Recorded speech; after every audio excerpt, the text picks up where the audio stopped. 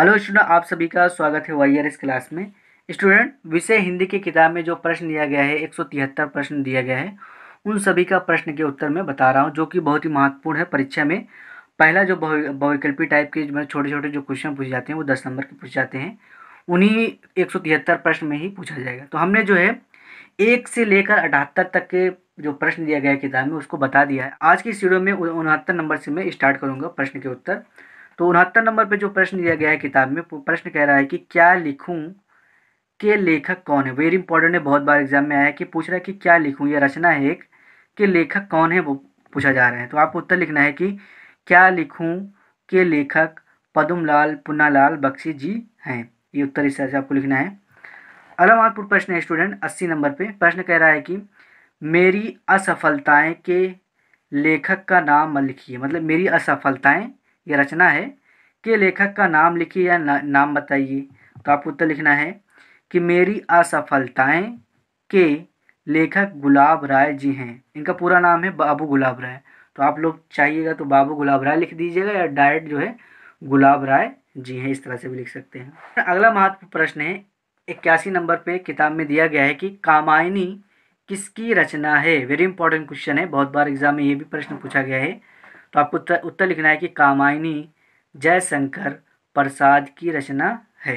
अगला महत्वपूर्ण प्रश्न है स्टूडेंट बयासी प्रश्न है, बयासीवें नंबर पर, कि परशुराम की प्रतीक्षा के लेखक कौन हैं? तो उत्तर लिखना है, परशुराम की प्रतीक्षा के लेखक रामधारी सिंह दिनकर जी हैं।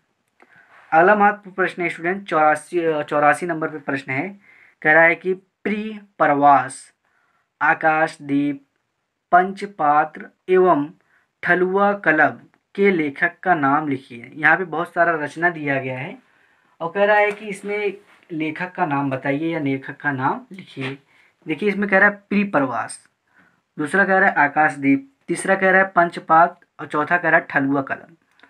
तो इन सभी चारों को जो है लेखक का नाम लिखना है। तो उत्तर में आपको लिखना है इस तरह से। यहाँ पे उत्तर लिखिएगा। उसके बाद एक तरफ़ आप लोगों को क्या करना है, रचना का नाम लिख देना है, जो जो प्रश्न में दिया गया है। पहला दिया है प्री प्रवास दूसरा दिया गया आकाशदीप, तीसरा दिया गया है पंचपात और चौथा दिया है, ठलुआ कलम।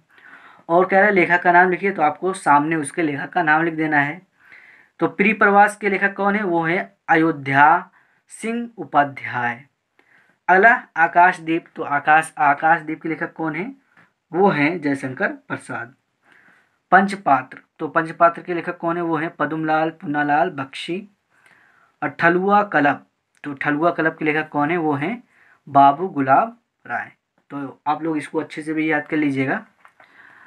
अगला महत्वपूर्ण प्रश्न स्टूडेंट कहा जा रहा है कि रश्मि मासा आज़ाद शत्रु एवं रश्मि रथी के लेखक का नाम बताइए। यहाँ पे तीन दिया गया है। पहला दिया है रश्मि, मासा, दूसरा दिया गया आज़ाद शत्रु एवं तीसरा दिया गया है रश्मि रथी के लेखक का नाम बताइए।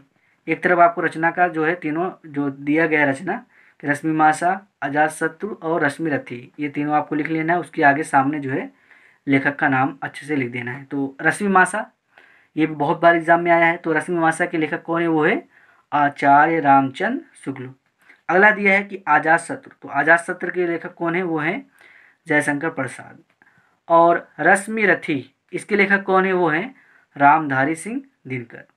तो स्टूडेंट, ये था महत्वपूर्ण प्रश्न, अभी तक हमने आपको जो बताया तो आप लोग जो है, जितने भी प्रश्न अभी हमने इस वीडियो में बताए, आप लोग जो है, अच्छे से कॉपी में लिख लीजिएगा और याद कर लीजिएगा, क्योंकि ये सभी महत्वपूर्ण प्रश्न हैं, परीक्षा में आ सकते हैं। तो अगली वीडियो में बहुत सारे भी प्रश्न बचे हैं, किताब में जो दिए गए हैं, उन सभी प्रश्नों को जो बचा है, उसको मैं अगले वीडियो में बताऊँगा। तो इसको आप लोग अच्छे से कॉपी में लिख लीजिएगा और याद कर लीजिएगा।